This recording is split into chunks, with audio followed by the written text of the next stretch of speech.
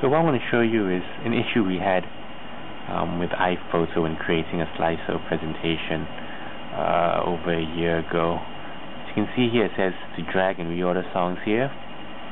So what we did, what came natural to us was to click the song, drag down, and drop it. But as you can see, that doesn't seem to work. Select the files, maybe multiple files, press and click the mouse button, drag down, or the trackpad, let go, doesn't want to work.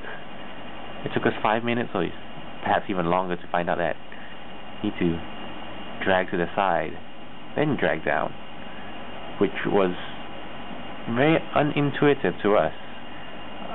Uh, I can honestly say we were coming back, coming from the Windows side, and even in OS 10, I don't think this weird behavior is shown anywhere else. So I just hope this would help um, anybody who's having this problem and getting frustrated for why their songs aren't being um, added to the playlist. Uh, and also you ca you can't even right click and say add to the custom playlist.